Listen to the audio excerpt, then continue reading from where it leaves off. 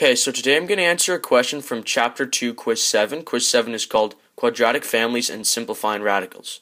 So from that quiz, I'm going to answer question 1. So question 1 reads, What family do these quadratic equations belong to? So they've given us these two different uh, quadratic equations. So the first, f at x equals 2 in brackets x minus 8, and then in brackets x plus 2 uh, times the square root of 3.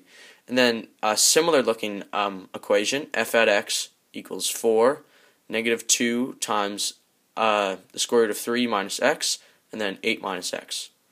So before we can know which uh, family these belong to, it just helps to write out the three uh, families so we can compare them.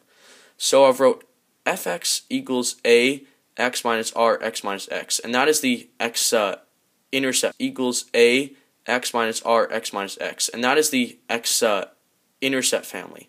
Then I wrote out the quadratic formula ax squared plus bx plus c because that is the uh, quadratic family.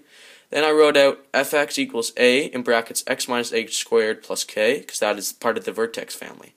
So I can already tell just by looking at these, I know both of these are part of the x uh, x intercept family, just because there's no uh, exponents in any of these equations, but on the other ones, in vertex and quadratic, uh, there there is an exponent that is a part of the equation.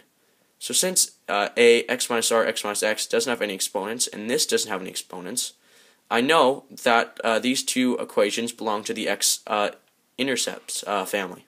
So yeah, they belong to the x uh, they belong to the x intercept.